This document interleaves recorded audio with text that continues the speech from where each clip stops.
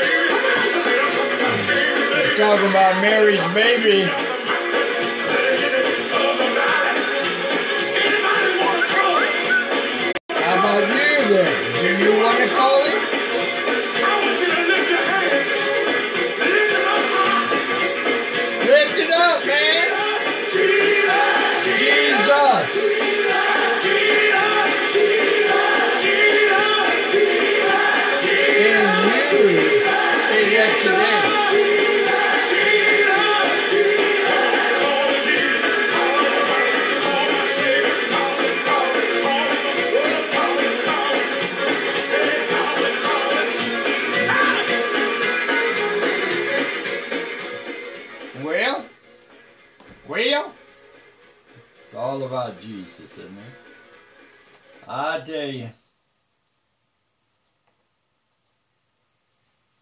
Well, good morning. 7 September, Thursday morning, 9 o'clock, Central Standard Time here in the US of A. My name's Missionary Norman at. I guess I could get in the screen a little bit better. Let me get in here and make sure things look good so you can see everything. Guess I better put that up just a little bit more. All right, okay. I am a Protestant Christian missionary, okay? Back again with you today. I'm only talking about you and your spiritual relationship with God. I've been talking about it with folks for about 43 years now. And again, I'm always surprised that when you talk to individuals one on one, they'll tell you the honest truth sometimes. And the, the question you can ask someone are you really living for Jesus? And you'll be surprised that most people are not. But yet, it's the same people that will go to a place of worship, a church, a building with a cross on the top. And now they don't even want to do that.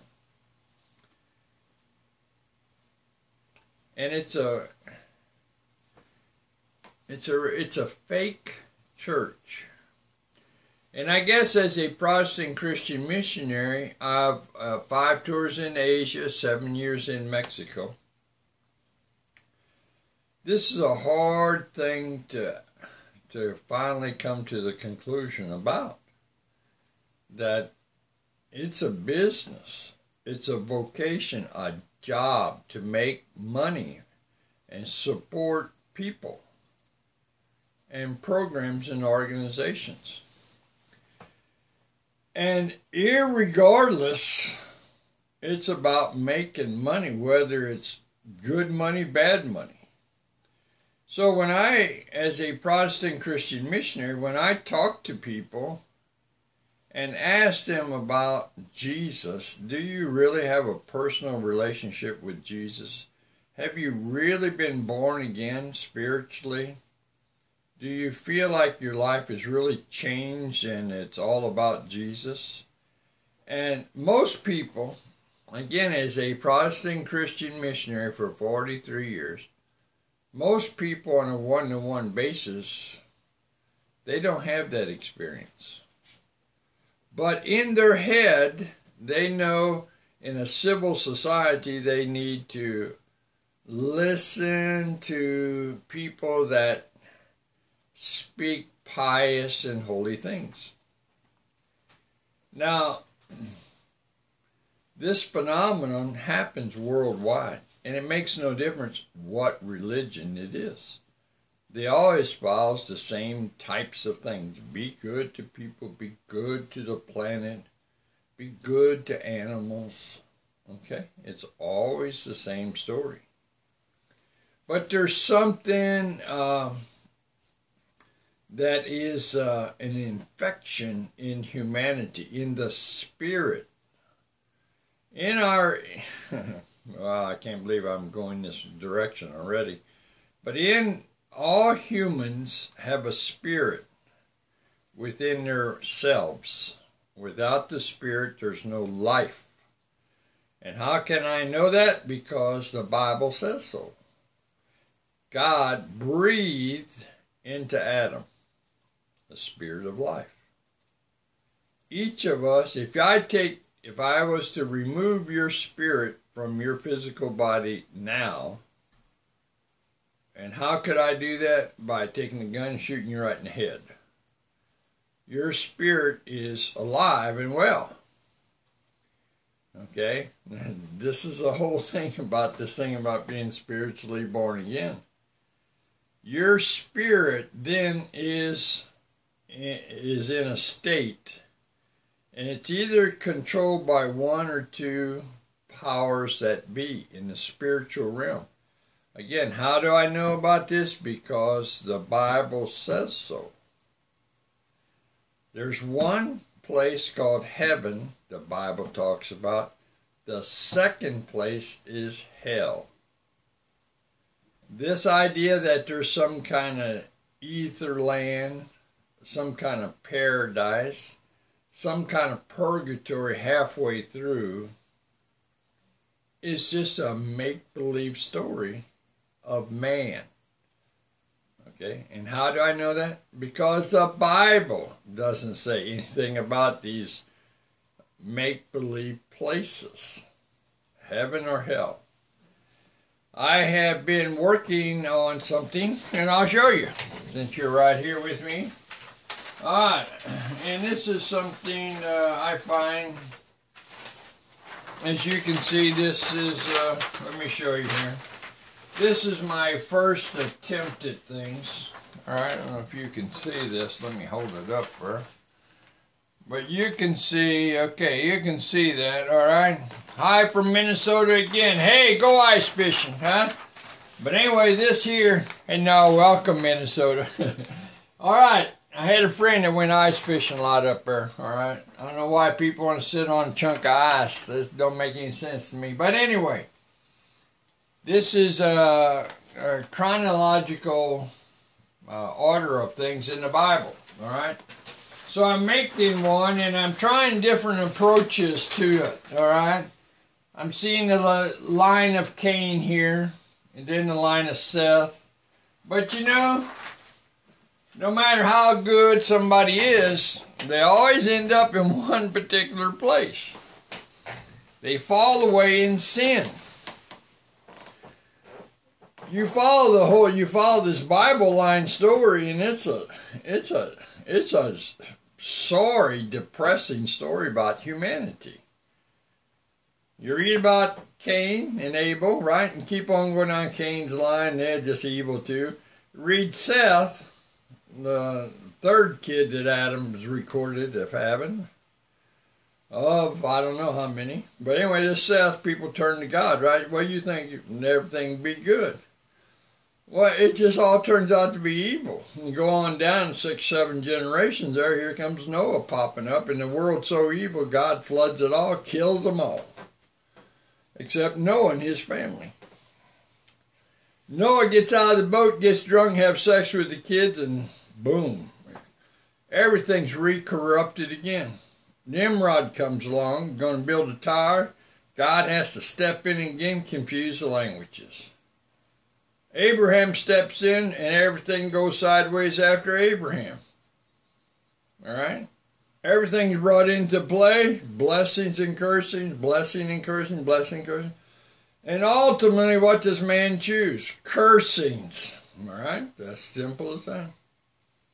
Very few people believed all during this time since Genesis 3:15 where God said to Adam that one was coming of the seed of the woman to crush the power of evil. Noah couldn't hang on to it. Right? There are so many that just gave it up. We're talking about ordinary people that couldn't hang in there for Jesus. Now you might be wondering why I'm saying that today, 2017. 2,000 years later, 20 generations later, you that are going to listen to this on Periscope, Twitter, Facebook, YouTube, and off of our website, godsspokesman.com. Hey, hi there, James. You're wondering if you're going to stay in tune to Jesus in your life. Most of you right now are not spiritually born again. You're leading your own life doing what you think is right within your own eyes. So here I am, 43 years in this business of telling people about the way of salvation through Jesus. All right, I don't represent any church. Sir, I have a question, says James. I have a question. All right, James, I'm going to give you the floor. All right? So, as a Protestant Christian missionary, I believe only in the Protestant Christian Bible. As the only divine inspired word from God to man. The God man Jesus is the Savior. When a person is spiritually born again, there's three things going to happen. Number one, if you want to become a Christian, here's what has to happen in your life. And let me tell you something it's not going to some church. You don't become a Christian by going to a church. You don't become a Christian when someone says, raise your hand, close your eyes, and bow your head if you want Jesus. You don't become a Christian when you recite a sinner's prayer after someone. You don't become a Christian when you go to religious classes. You don't become a Christian because you're baptized in the name of the Father, Son, and Holy Ghost. You don't become a Christian because you go to a Bible college. You don't become a Christian because your mommy and daddy. Sir, one of my Muslim friends asked me, Jesus never said, worship me. Okay?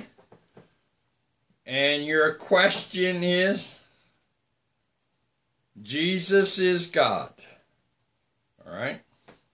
I have none. Can you please help me? James. All right? You have no. Okay? Look, it's like uh, James do you know what? Okay, you're an intelligent guy. Oil, motor oil you put in a car, and water. Can you mix the two together? James, of course, you cannot mix water and oil together. Your friend who's asking you that question is trying to mix sin and grace. All right? And your friend, if it's really your friend James, or if it might just be you, James, is only an unbeliever. And that might be your true intent, James. Here's how you become a Christian, James. Yep, I'm listening, sir. All right? When you want to become a Christian, three things are going to happen.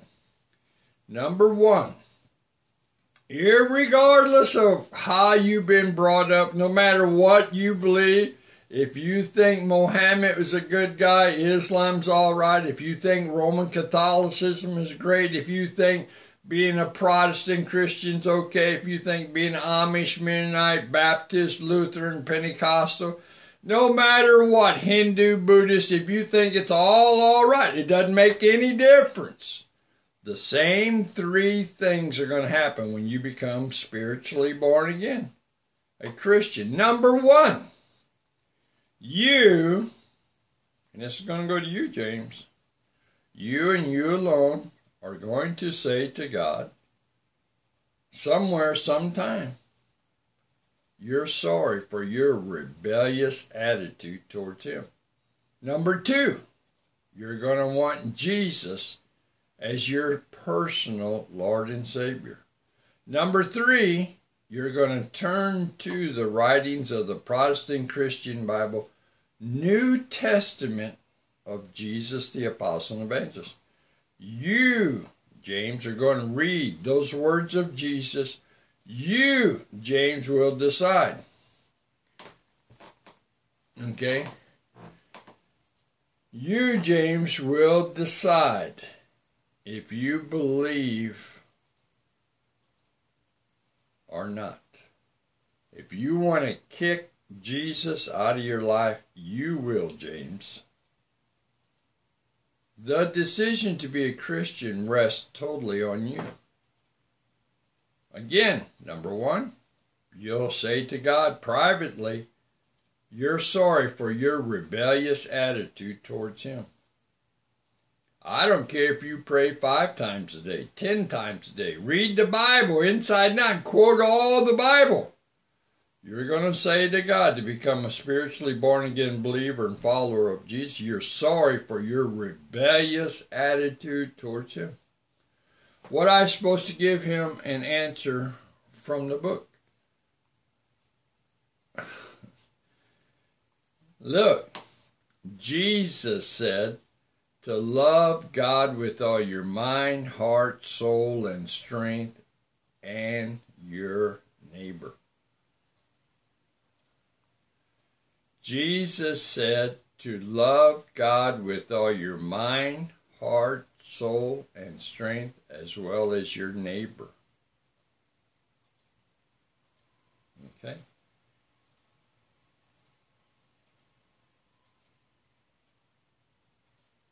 All right? Jesus over and over states that he's God.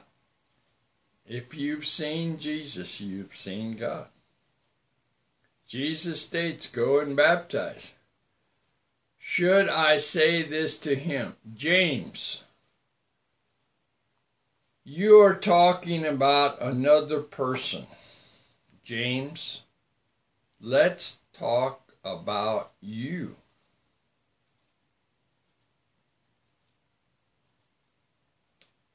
James. this is the typical thing, James.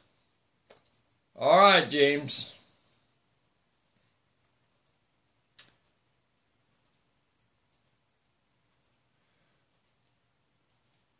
Jesus said to love God with all your mind, heart, soul, and strength, and your neighbor. There's people that do not love God with all their mind, heart, soul, and strength. They don't believe that Jesus is God. They don't believe Jesus is the Savior of the world. This is James's position. James is using this phony sentence about his friend when the truth is it's James who's really talking. And here's James, what he doesn't understand is that he chose to get on Periscope with me and begins a conversation in deception.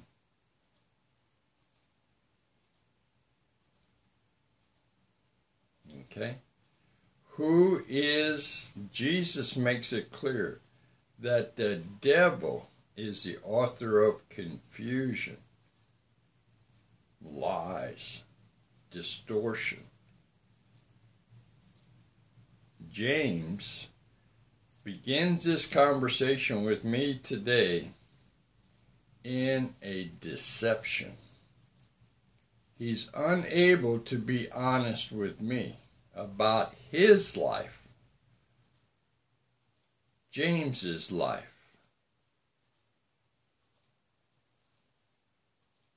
Just think about that. How would you like to?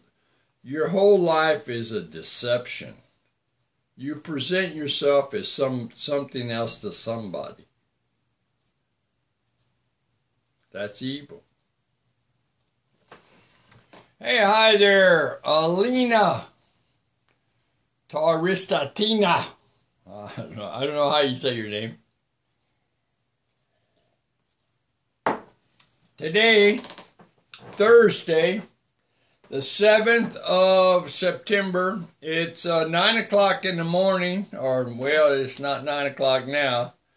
It is uh, 9.20 in the morning here in Missouri in the USA. Missouri is in the center of the U.S., okay? And uh, I am a Protestant Christian missionary. Okay, sir, bye. Have a great day. James, I'll be looking forward to you when you get enough nerve to be honest and have a, a real conversation, James. I feel sorry for you that your life is a deception.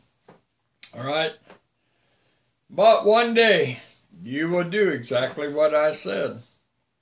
You'll do it on this earth, or you'll bow your knee before Jesus, as he said, all will do. All right, in judgment. So don't go there, brother. Don't go there. All right, get right with the Lord while you can, right here, right now. All right, today is Thursday. And I began today talking about why as a Protestant Christian missionary that when you honestly talk with individual people, and this is globally, they will admit that they are uh, really, they don't have this full assurance of their salvation. I'm talking about people that say they believe the Bible, say they go to a church, say they're a Christian, think they're a Christian. They'll they'll tell me things that they still believe they're a sinner. They'll tell me that they are just weak and inferior. Everything you can think, every negative point about their life, when someone's in a private conversation, they'll bring it out. Why they are this or that. I've very few people I have met through the years, 43 years, that actually simply believed what the Bible, New Testament truths of Jesus, the apostle and evangelist actually say. What I found out that a lot of the preacher people you talk to, and this is a sad truth, most of the preachers, pastors, associate pastors, youth leaders, worship leaders, whatever title you give, missionaries, whatever it is, it is a job where they receive money. Okay? And it's always the same. It's about money. You don't pay them, they, they're a no show. And on one level, there's people now that accept that as a truth. That if you want a good piano player in your church, you should pay someone to do it. If you want someone to operate any kind of equipment in a church service, you need to pay them money. All right? It is a sham thing. Everybody's making money. It's a production over and over and over. What and the simplest way to look at what's really going on is to look at the people in any given city. All right? You can pick out any church you want Pentecostal, Charismatic, Baptist, Methodist, United Methodist, Amish, Mennonite. It don't make any difference. And you just go to that church, that building, wherever they're meeting, and then find out what they're actually doing through the week. I mean, actually, what are they doing? And you will find that for the majority, it's only about having social welfare programs, helping the less fortunate. And how? Food, clothing, shelter. And again, food, clothing, shelter. And if you want food, clothing, and shelter from them, a lot of them make you sit there and listen to a sermon that they've all prepared about how sinful and evil the world is and you need to get better. Then they'll give you food, clothing, and shelter after you listen to their spew. It's the same all over the world. If you want to receive, then you're going to have to listen. How terrible everything is, and how that you're being blessed because these individuals are doing it. Of course, they'll tell you they don't want any credit, but they want that credit. This proves to them, the people that give you the stuff, and the people that donate it, that they're doing something good. Because the only good they can do is something they can actually see with their physical eyes. And that's how people approach going to church and being a Christian. You have to prove it that I'm a Christian. I have to have a church building to go into. I have to be around other humans who say and do what I think I should do and say. And it proves to other people that you are really a Christian because you can actually see other people, you can actually hear other people, hear the same things that you say about your opinions about what you think or how you think your God should be like. You speak it out loud, you talk it out loud, you hear the words, you see the actions, you see people giving things, money, clothes, whatever. And it proves to you that you indeed are a Christian because you're doing these things. Now, nothing wrong with helping somebody, don't get me wrong. But this is not, this is not what being a Christian is all about. This is totally, what do we got here? End time move join.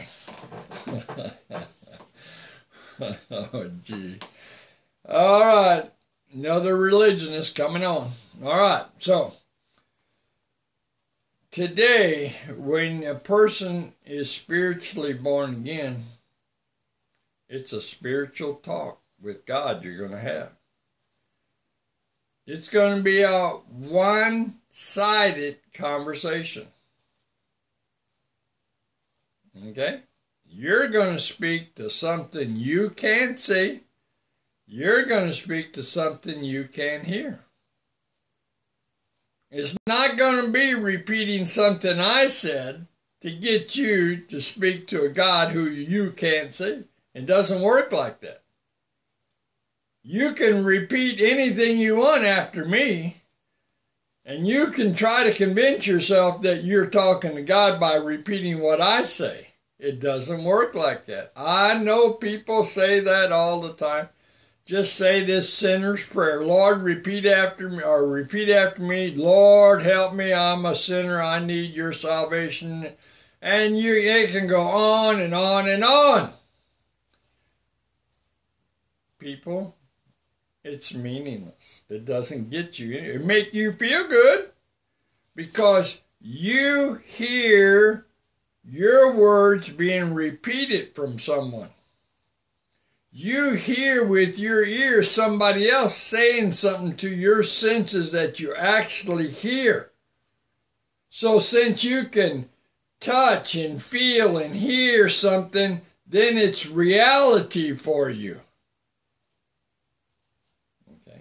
when you're spiritually born again, there is no there is no reality of being spiritually born again. You want to hear that again? Listen up. Your eyes are not going to see anything. Your ears are not going to hear anything. Your mind, your senses are not going to sense anything.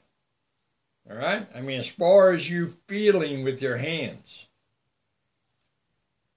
You can't feel anything. You can't see anything. You won't smell anything. You won't hear anything. Why? Because when you're spiritually born again, you are talking to the Spirit of God. This spiritual substance, spiritual substance. God is a spirit. This spiritual substance that man calls God. You are going to have a conversation. You, the human, the physical flesh and blood man, talking to a spirit who you can't see. You can't hear. You can't do anything. You can't say, show yourself, force yourself. No, you can't do anything. You're going to say to this spirit, Forgive me for my rebellious life and attitude towards you. You can't see it. You understand? People, they have to see something. See, it doesn't take any faith if you see it. Oh, there's danger there. Ooh, I'm not going that way. Oh, if I, oh, look at that. Doesn't that look nice? I'd like to go there and relax oh, look at that uh, dress or, or uh, a suit of clothes or a shirt. Oh, look at that uh, car, boat, motorcycle, whatever. Oh, look at that school. Oh, I'd like to go there. Oh, look at that. He's a doctor, nurse, lawyer, whatever. Oh, I oh that Oh man, I wish I had that. Look at that necklace. Look at that watch. Oh, all those things are senses driven things. Senses. Senses. Our senses see things. You read things. Oh, I like reading that. That's good. Oh, I don't like reading that. That's not good about me or something you like. Every day it's the same thing because man wants proof before his eyes. You'll hear the mockers and scoffers about God all the time say, This is nonsense. This is Santa Claus land. This is make believe. You can't prove this. You can't prove that. All right? You can't make anything happen. You can't do anything. God's not real. Da da da da da. And it goes on and on. And in part, they're absolutely correct. You're dealing with a spiritual substance that that has this power that we we we it's like trying to say, "Hey, I wonder what it's like being in the center of the sun." And can you imagine what that's like to be in the center of the sun? Millions and billions of degrees of heat and we have no idea what it's like. Well, imagine this is God who created that sun. Can you imagine you're going to understand about God? You're going to, he's so far past us. We have no idea. He created us. So how are we going to understand the thing that created us? So the only way that we can understand anything about God is to read about God himself in his son Jesus, who is God within this spiritual substance. We learn from reading the words of Jesus of his relationship to what he, Jesus, called the Father. We learn through Jesus his relationship to the Holy Spirit, which is in this spiritual substance. We learn from reading the New Testament of the Protestant Christian Bible of these three entities within God the Father, the Son, the Holy Spirit. They didn't come from make believe, they came exactly out of those writings. Before Jesus was made flesh here on this earth, we didn't know about it. We had an idea about it, that there was a plurality about God, because you see it in the first writings of Genesis, the book of Genesis, the book of beginnings. But people today in the New Testament time, and that's where we're at. We're in the we're in the, last stages of the book of Acts. All right. In the last stages, I mean, the next stage to come is going to be the rapture of the church. When that's going to happen, nobody knows yet. All right. Now we're in a dispensation of grace. We've been in this thing for 2,000 years now. But God says, now here's how you're going to come to me. You, human, you're going to confess your rebellious, sinful life and ask for forgiveness to me who you can't see. All right? So you're standing there saying, okay, God, you're in, you're here, huh? So I'm going to talk to you. Hmm, I don't think so. So, man in a fallen sin state of rebellion will never turn to God. Because it's like trying to mix water and oil. You can't mix the sinner with God. It's not going to happen. God sent Jesus to save the world. Save the world. Well, how is God going to save this sinner who's in rebellion to Him? Water and oil, you can't mix the two together. What does God do? He says, because man is so inferior and in sin and darkness, I'm going to enable him to become spiritually born anew in his life by my love and favor, power and strength called grace.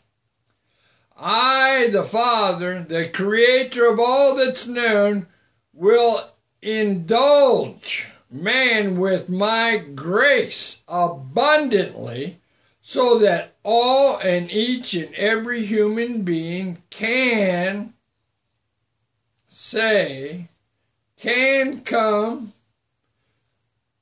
to the Father and say that he is sorry for his sins. You can. You can't do it for your son or daughter, wife or husband, mother or father. That grace enables you and you alone. You are accountable only to yourself. You can't pledge to do it for someone else. You can't get baptized for someone else like them goofy Mormon teachers teach. Isn't it stupid? Roman Catholics telling you, well, if you just pray, people are going to go to another place, a halfway house, and you can pray them on in.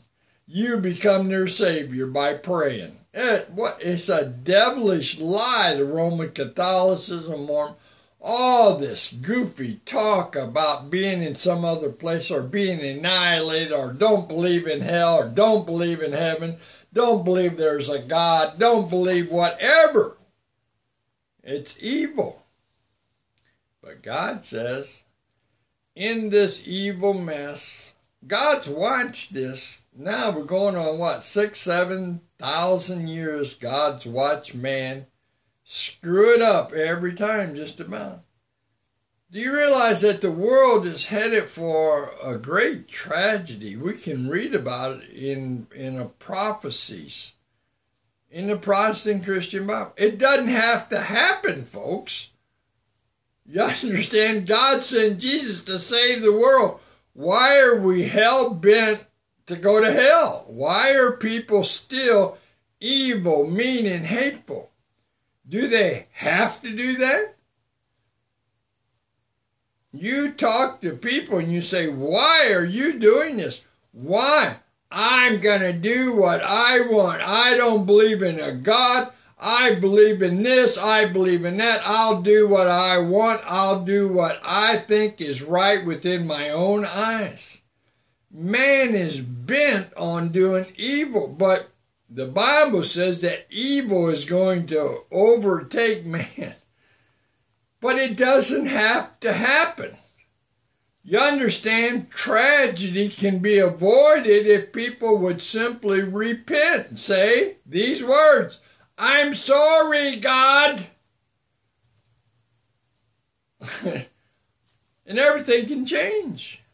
Do you realize Jesus said, Love God with all your mind, heart, soul, and strength, and your neighbor? Well, guess what would happen if people, if the Christians, right?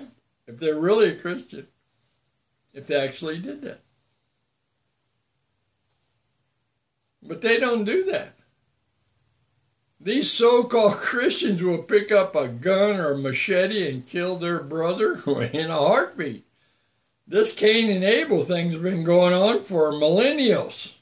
They just can't give it up, killing each other. Man has got this sin in them that just drives him to kill, destroy each other over and over. 16th, 17th century Roman Catholics and Protestant, white Roman Catholic, white Protestants killed each other all in the name of God. Fifth, up to 15 million people.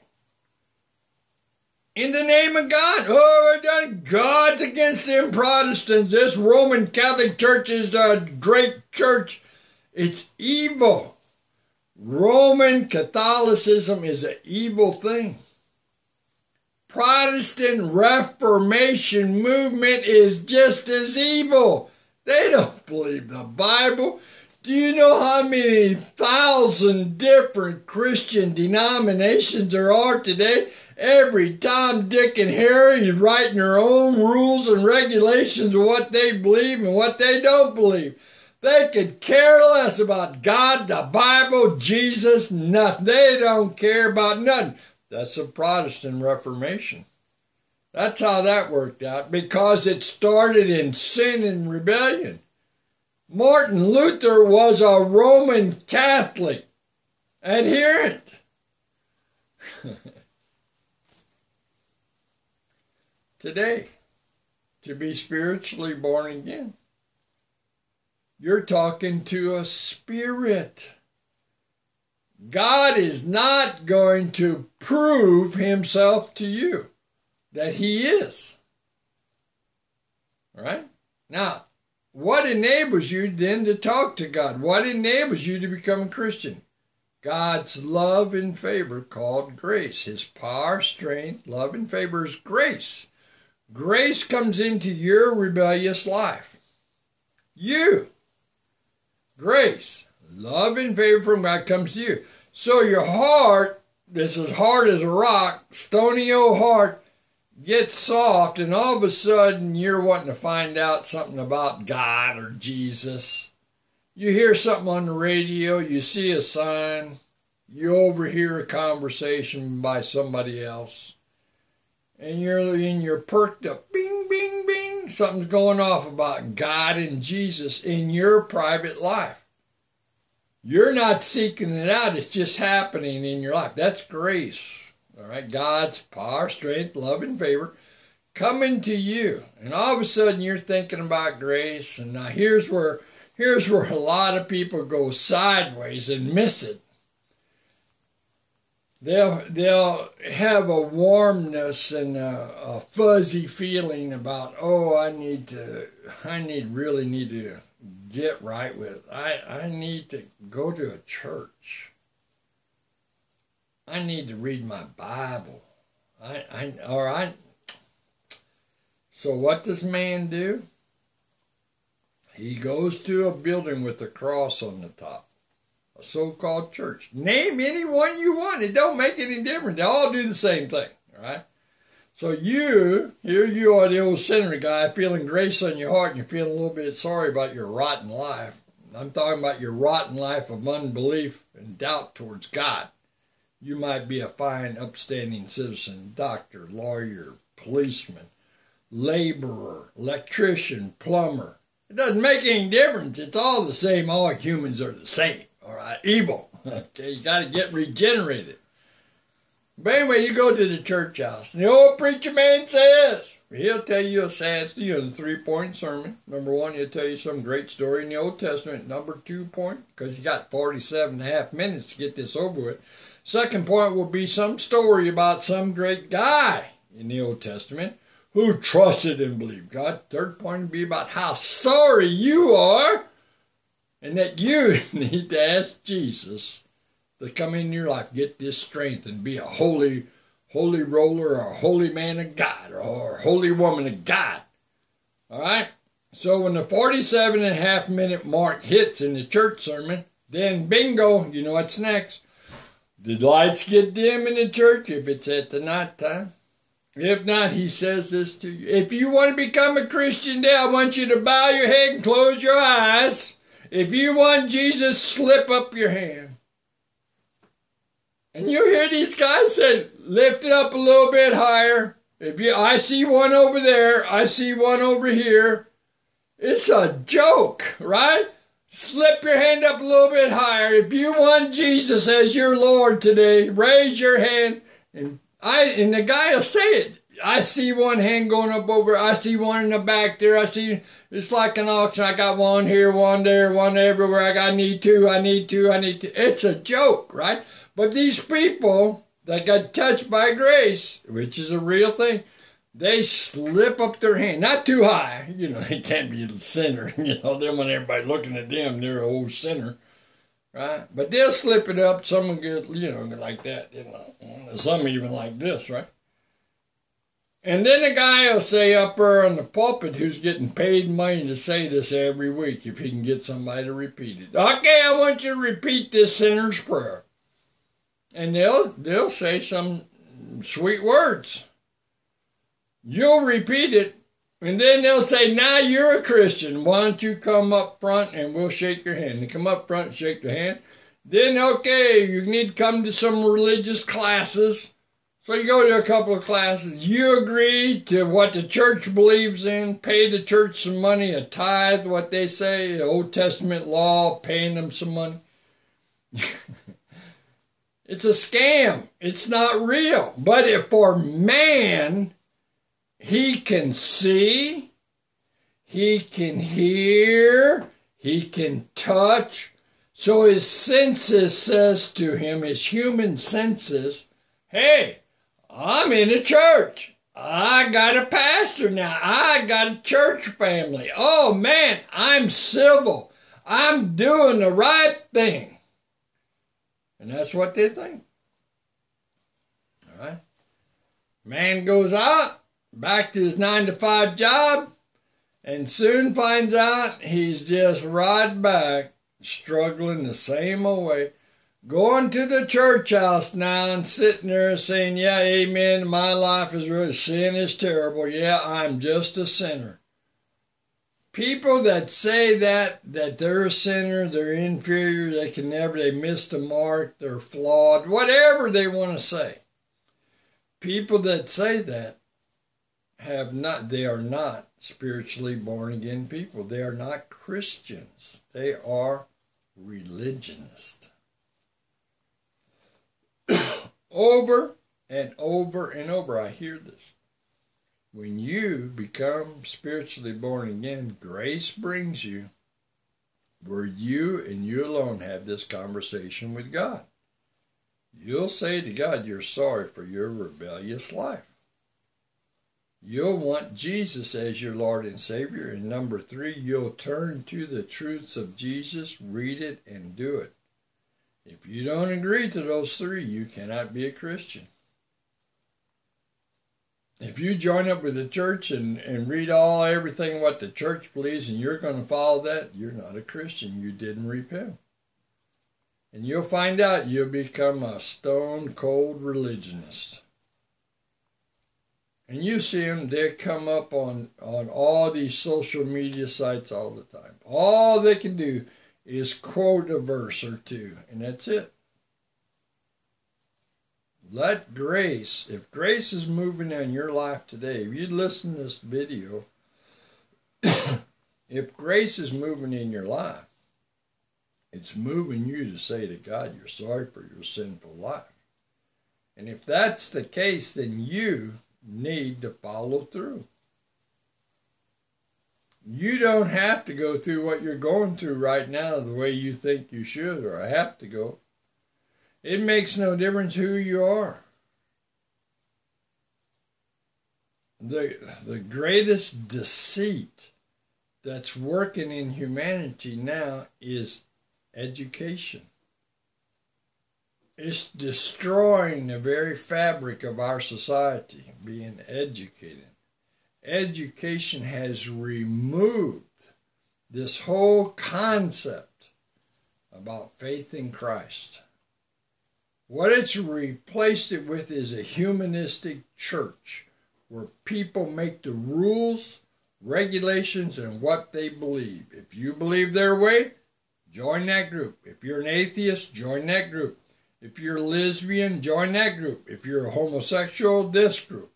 If you're a pedophile, this group. Everything's acceptable. Everything. If you want to be a neo Nazi, join this group. If you want to be uh, uh, a liberal or conservative, join this group. It makes no difference. As long as you don't just really get up and kill people. I mean, you can beat them a little bit, not too much, though. Right? That's today. You got the universities chock full of people telling you there's no God. There's nothing about you can't hear nothing hardly today about being spiritually born again. What you hear about is how to join someone's church. That they got some kind of insight about God, this false teacher Osteen, this Billy and Franklin Graham people. They they no more know anything about God than a man in the moon. They don't believe the Bible. The Grahams don't. Don't don't believe all this junk. You got people coming on TV that think they are some kind of religious people. Check them out, people. They don't believe. Believe. They don't believe you need to be spiritually born again to go to heaven. Jesus said you have to be born again. He told Nicodemus. And man, since that day, is trying to belittle the things about God and form a religion. The Jewish nation today rejects the Messiah, Jesus, as the Savior of the world. They put up another form of religion, Roman Catholicism. They don't believe that Jesus is the Lord and Savior of the world. They believe he's hanging on the cross. Do what the Roman Catholic, this evil, killing machine, the Roman Catholic religion, they are vicious people. You think Islam and ISIS is vicious. You imagine burning people at the stake? I don't know if ISIS has done that one yet, but Roman Catholics did it all the time. You understand? Under the auspices of the church. Evil people, boy. These people, the Roman Catholic thinks they're, they're infallible. Giovanni Ferretti in 1870, Pope Pius IX said, Hey, I'm infallible. I can't make a mistake. You, can you imagine if I said that? You'd say, Norman, hello.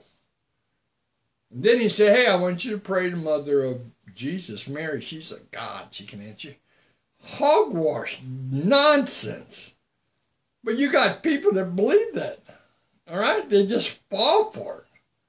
Because they can see with their senses. This whole idea, I need to touch and see, say the rosary. What a joke. Repeat some stupid prayer over and over and over. It's absolutely ridiculous.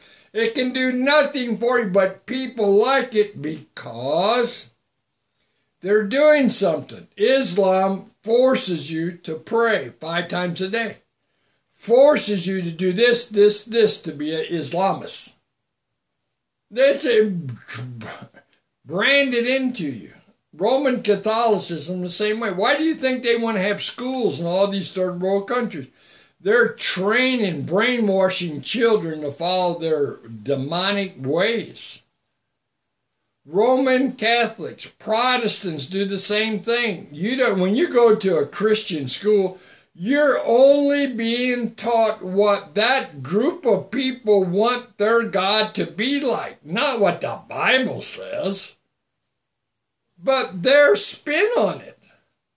Again, I'm going to close. Jesus said to love God with all your mind, heart, soul, and strength. When a person has faith in Christ to become a Christian, the Bible says in Ephesians 2 8 that it is the gift of God. You can't do it. You can't wake up one day and say, I'm going to be a Christian. You can't do it apart from grace. There's three things to become a Christian. One, you're going to say to God, you're sorry for your rebellious attitude towards Him. Number two, you're going to want Jesus as your Lord and Savior of your life. Number three, you're going to repent, means to turn to and obey and understand what Jesus said. You will understand what He says. You. Not somebody telling you what he thinks it means, but you will read what Jesus says. The things that you understand, you're held accountable for. You don't do it, yet sin. And you can rest assured, a man that's a follower of Jesus is not going to choose sin, he's going to choose Jesus. You hear someone say they're a sinner, you can rest assured they're not spiritually born again. They are what they say, a sinner separated from God. I'll see you guys tomorrow, Friday, 9 o'clock Central Standard Time here in the USA.